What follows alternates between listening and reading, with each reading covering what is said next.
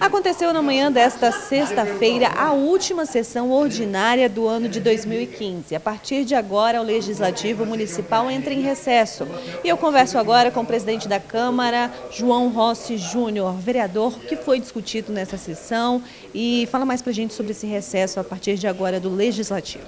Foi votado o orçamento para 2016 com as emendas propostas pelos vereadores, né? a segunda votação foi hoje, então entra em recesso legislativo conforme a legislação municipal. O recesso legislativo, para deixar o público e você que está em casa sabendo, é quando encerra todas as sessões ordinárias da Câmara, que encerra Antes, é, a seria no dia 15 de dezembro. Como a nossa sessão anterior ao dia 15 é no dia 11, então encerra hoje.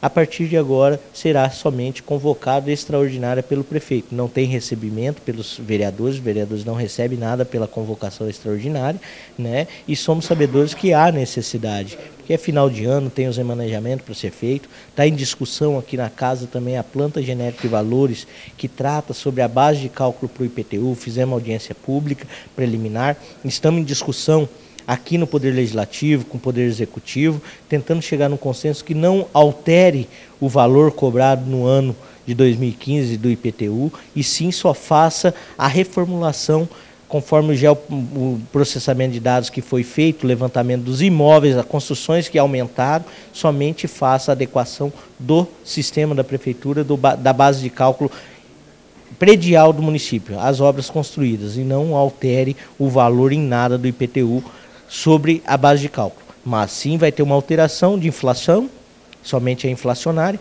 e das construções extras que foram efetuadas.